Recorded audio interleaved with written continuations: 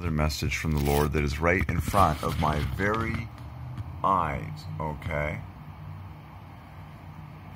It's a star on top of a tree, okay? Because Father is on top of Son, okay?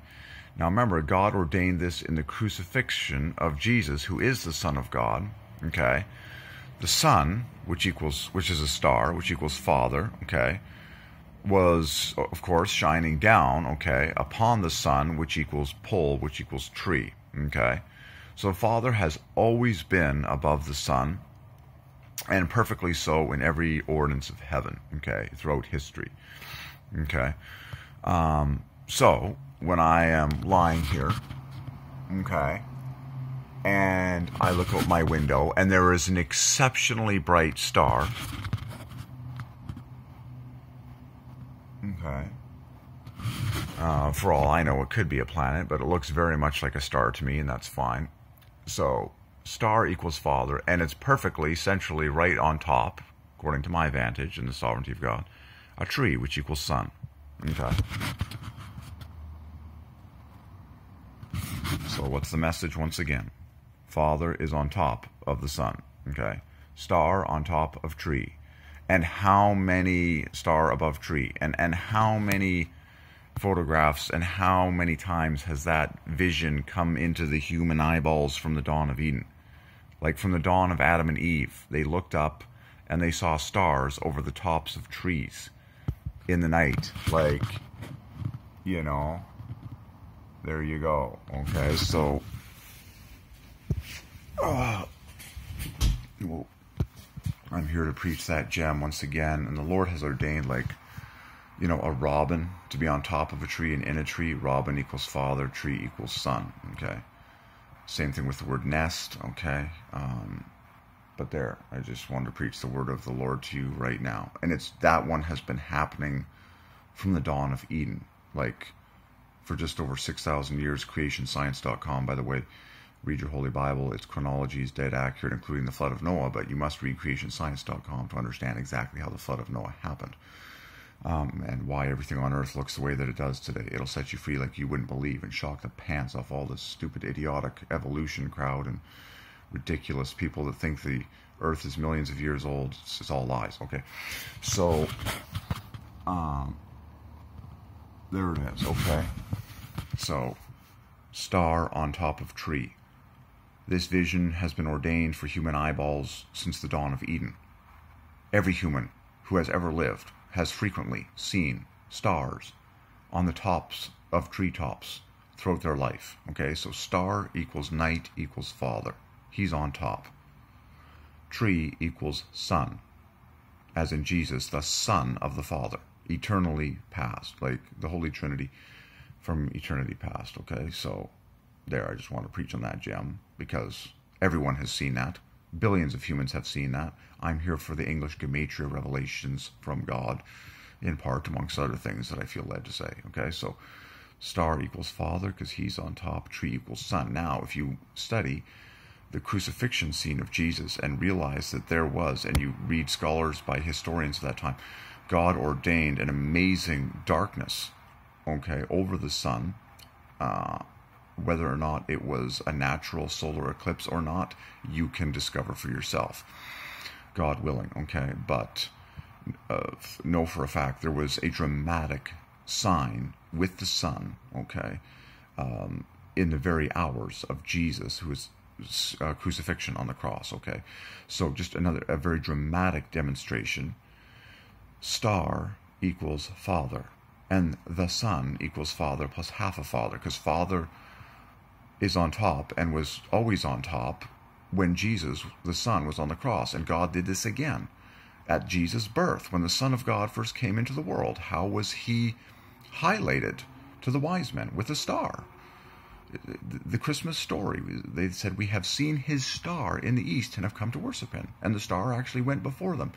So, again, from the very beginning of Jesus' life, right up until the crucifixion, Okay, star equals father. Father was on top. Okay. Father was on top, and certainly in all, you know, by the way, science equals father. Uh, from what we know of modern science, stars are huge, like they are massive. So not only is the Father on top, but he's bigger than we can all, anyways.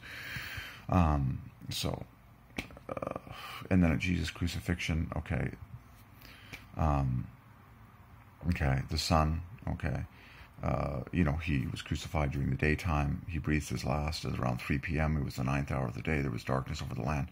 But clearly the Son, okay, was on the scene. So, Father in the background, as it were. But the Father was in the Son the whole time. That's the amazing thing. Just like the nest is in the tree and the tree is in the nest because the nest is made from the branches of the tree. So, Father is in Son, Son is in Father. Jesus said, the Father is in me, and I am in the Father. He who has seen me has seen the has seen the Father. So that's very deep for you, okay? Um, but the Lord gave me that message at Trinity Western University one day, where there was a robin in a tree, and the Lord had prepared me for this message because He'd given me a robin that was on top of a pole. So Father was on top of the Son first, and then the Lord gave me the vision or the, the, the thing in front of my eyes, a robin in a tree the Father is in the Son. Like God the Father is in the Son. And then, even better, the nest is in the tree and the tree is in the nest. Okay, Father's in the Son and the Son is in the Father. Okay. Um, but, okay.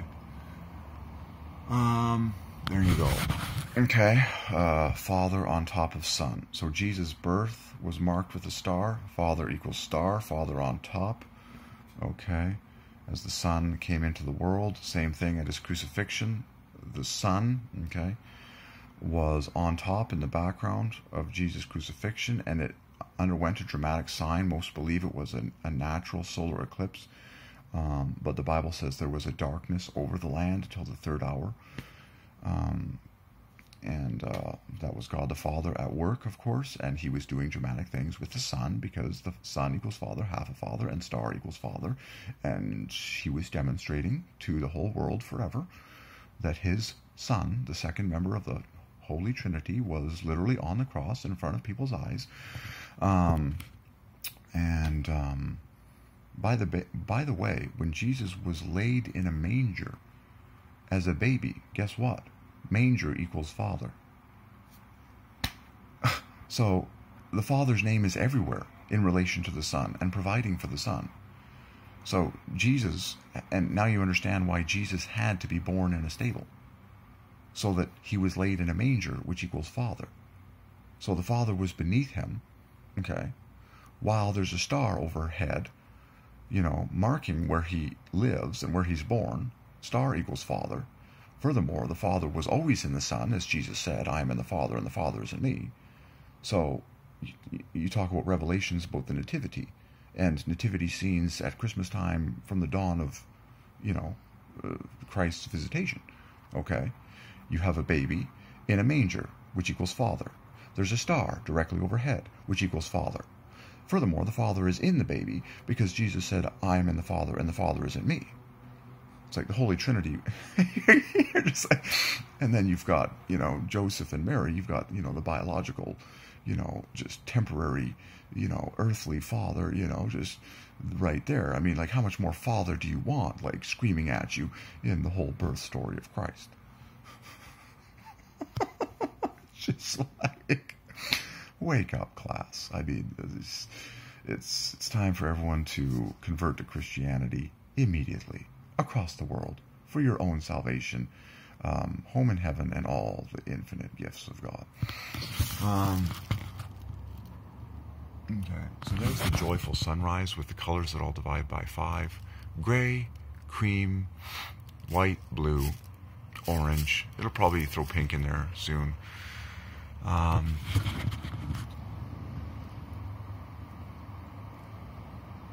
but that, my friends, is a star on top of a tree, also known as a father on top of a son. And God did this at the crucifixion. There was a star on top of a tree. God the Father, which is to say, okay, declared by the Son, its on topness and its centrality in the solar system, was visibly on top of the tree, the cross, the pole. See that? Father on top of Son? Iconically at the crucifixion, and of course he always is spiritually. He was also inside the Son spiritually. and uh, you know another beautiful metaphorical sign physically from the Lord just outside my window. That, my friends, is a lone, glaring, bright star, perfectly vertically on top of trees. Okay. Amazingly, this word just came to me. It just speaks of the fact that there is one Father and there are many sons. So when you think about the, the sun, which is the official star that uh, fuels all life on earth and allows all the trees to grow. Well, the Bible says, by, by the way, the word trees equals sons. I believe this is revelation from God right now. Jesus is the firstborn of many brethren. Jesus says that we get to call him brother. We are all sons of God through faith in Christ Jesus. So sons equals trees. But guess what? There's one Father that grows us all and is on top of us all and is at the center of all the worship. Father, which is the icon of the Son, or rather, the Son is the icon of the Father, because remember, star equals Father, and the Son equals Father plus half a Father. Now I have to hit this really hard to you, so you get this convincingly. Put the word the on top of the word Son. The bookends perfectly spell the word nest, as in to say, nest equals Father and tree equals Son. The Father is in the Son, and the Son is in the Father. What's left over down the center of the Son is HU, which is the other half of Father. It's perfectly satisfying. And if you're really good and you study the anagrams of the word nest, they all make sense to glorify Father. Okay? One anagram is the word sent. Jesus said over and over again, He who sent me is true, referring to Father. Father equals sent equals nest. Okay? Another anagram is tens. Okay? Always think of God's creation first. Okay? there are tens on top like you wouldn't believe. When all humans in the world lift their hands to heaven and worship God, that's a lot of tens being the highest part of human bodies, like trees we are, reaching our hands to heaven in worship like the trees do. Okay?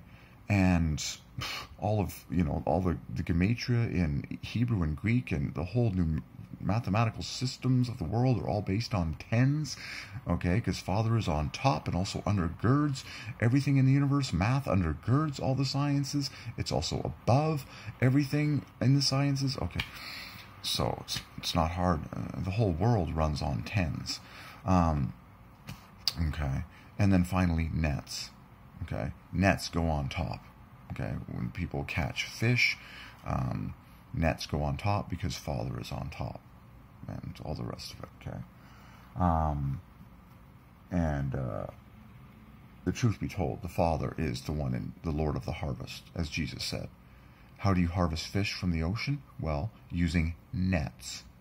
Nets equals Father. Okay, that is a metaphor for people getting saved in the harvest of God in in Jesus' name. But who is in charge of the harvest? Jesus told us. He said, Pray ye the Lord of the harvest, that is to say, the Father, that he may send forth laborers into his harvest. Okay? So, Jesus said, Follow me, and I will make you fishers of men. Okay? It's amazing. So, nets equals Father. Okay? And he's the one. Father is on top, yada yada. Okay? So, I just, I always want to, um, okay? capture the scene right now and how it speaks to us, okay? So, see that? So, there's one Father who is on top of many sons. So, there's one Sun at the center of the solar system that powers and grows all the trees in history. Trees equals suns. And star equals father, and the Son equals father plus half a father. And I walked you through how beautiful the letters the Son is again. The on top of Son, the bookends, equal father, the word nest. The leftovers, HU at the center equals 29, the other half a father. Very satisfying. Or if you just want to pull out three teams that parallel the 29, okay, uh, be my guest. It's like TS is 29 plus 10 and then En is 29 minus 10, and in the middle is HU 29 perfectly. You know, I told you tens rule the universe, tens equals Father. Is it just me, or has God really, in a bang, bang, bang, declared Father is on top whenever someone says the Son? And then noon equals Father, 12 equals father, half a father. 12 noon equals father, father, half a father. 12 p.m. equals double, father. Night equals father. So when you say midnight, that equals godfather. Like, it's it's obvious. Okay, so the sun equals father, half a father, which is always on top and always at the center of the solar system. God. Okay, but and sun, the sun is a star. It's the most important star to all of us. So star equals father. But the, now the deep revelation and the main message is this there is one Father, just like there is one Son, okay, that grows all of the trees on planet Earth. One Father, many sons. Isn't that amazing? Jesus said, You are all sons of God through faith in me, Christ Jesus. Jesus, the firstborn, Jesus said, You get to call me brothers. Okay? Or you get to call me brother, excuse me. Um, um, so that's amazing. So quickly, star equals father, trees equals sons. And I'm referring to the sun when I say star. So the son equals father plus half a father, trees equals sons. There's one father, tons of sons. I am one of the sons of the father. Adopted, okay, which divides by five the number of joy, which equals delight, which equals beloved, which equals rejoice. So I am adopted. I am now a son of God through my faith in Christ Jesus. There. All that came to us through one sight from God. Okay.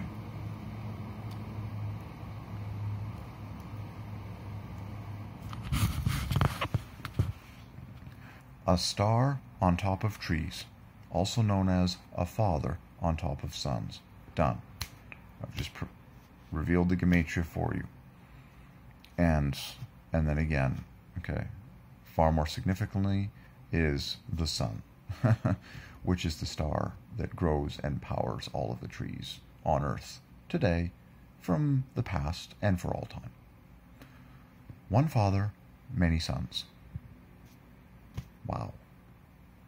There it is. Just incredible revelation from God in Gematria. Done. Just, so now it's time for the whole world to repent, okay, of their non Christianity and every ounce of neglecting the Bible and the words of Jesus like you wouldn't believe. Repent and start seeking the true God and reading your Bible and the words of Jesus today.